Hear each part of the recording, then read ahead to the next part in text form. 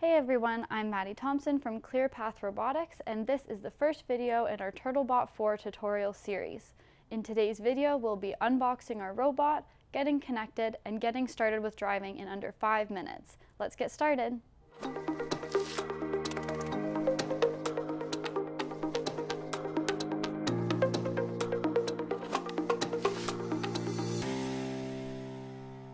Here we have both of the different Turtlebot 4 models. We've got the Turtlebot Standard and the Turtlebot Lite.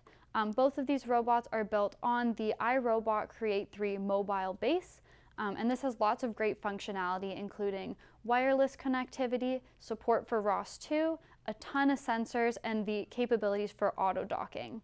Now both of these robots also have a Raspberry Pi module that is either inside of the Create 3 or in the case of the Turtlebot standard, it's in this shell on top of the Create 3 as well.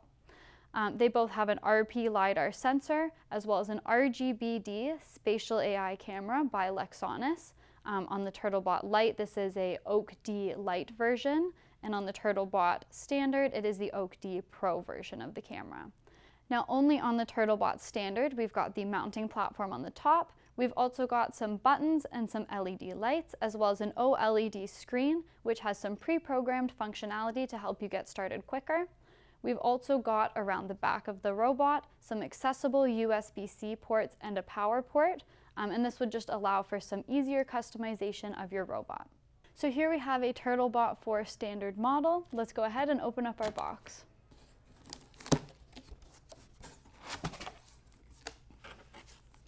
So right off the top, we've got some documentation. So this includes our links to our quick start manual, as well as our user guide, as well as some safety information. And it's also got a SD card adapter. So I recommend giving this a read through before you get started.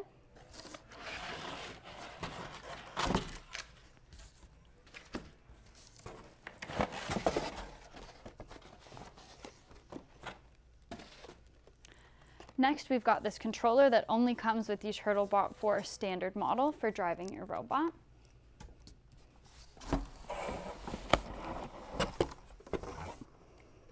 Next, we have our Turtlebot.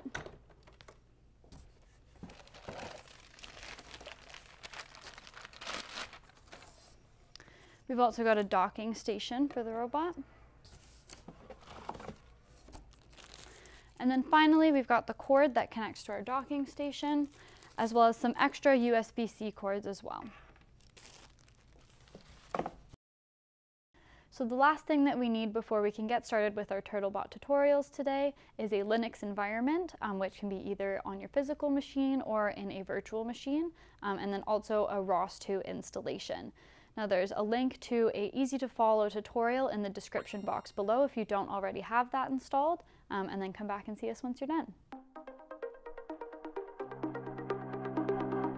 So first you're going to need your docking station, which will be plugged in. And you can go ahead and place your robot on the dock.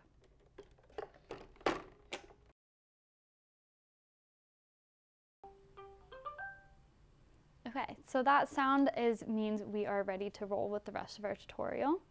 Um, so the first thing we're going to do is we're going to configure our network and then connect both the Raspberry Pi and the Create 3 to our Wi-Fi networks. So in order to do that, you're going to want to open up your .bashrc file in your command window on your computer and enter this line of code to the end of that file.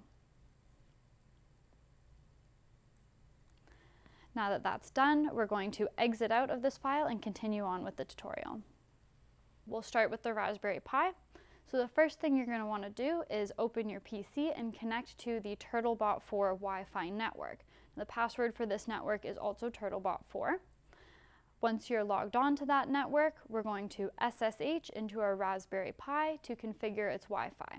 Now the default password for your Raspberry Pi is also Turtlebot 4. Enter this line of code where you can input the details for your own personal Wi-Fi network. And just please note that it is recommended to use a 5G network, but not required. For the last section, select your regulatory domain, and that's just based on the country that you live in. Um, there's a few options displayed on the screen right now, just pick the right one depending on where you are.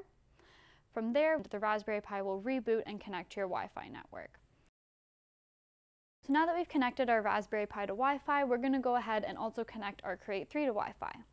So in order to do this, we're going to press and hold the small buttons on the front of the Create 3 at the same time, and just wait until we hear the robot make a chiming noise and also for the light ring to turn blue.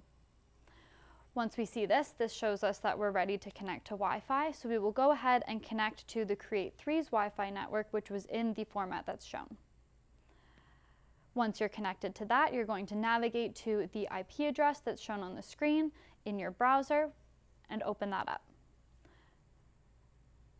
Once you're on the Create 3 website page, you're going to go to the Connect tab where you can enter your username and password for your own Wi-Fi network and then click Connect.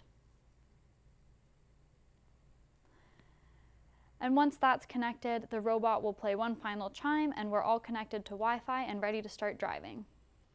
So the last thing we need to do before we can get started with driving our robot is to connect a controller. Now if you already have a controller you'd like to use, please follow the tutorial that is linked in the description for this video and it will walk you through the steps of how to manually pair your device. However, our standard TurtleBot does come with a pre-paired controller that looks like this. And all we need to do in this case is press the home button and the white light will begin blinking. Once that light turns blue, we're ready to drive.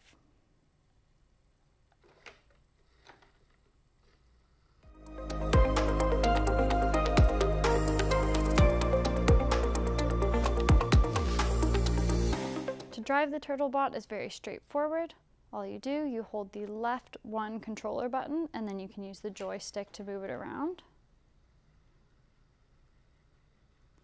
If you want your robot to move a bit faster, hold the right controller button and it'll move a bit faster. To scroll the OLED screen on the TurtleBot standard, you can use these up and down arrow buttons on the controller here. And this just navigates you through a few different pre-programmed options for the bot's motion. Um, the first one being auto dock. So you can press select with the X button and the robot will navigate itself towards its docking station. Now on the TurtleBot Lite, you can also do this by pressing a quick press on the button number one and it will send itself to the dock and a quick press on button number two will send it to undock.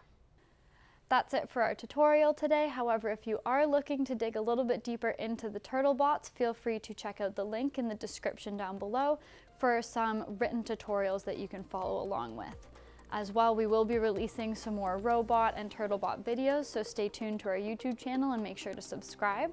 Um, if you found this video helpful today, feel free to leave us a thumbs up. And if you do have any questions at all, just comment those down below. Thanks so much for watching and we'll see you next time.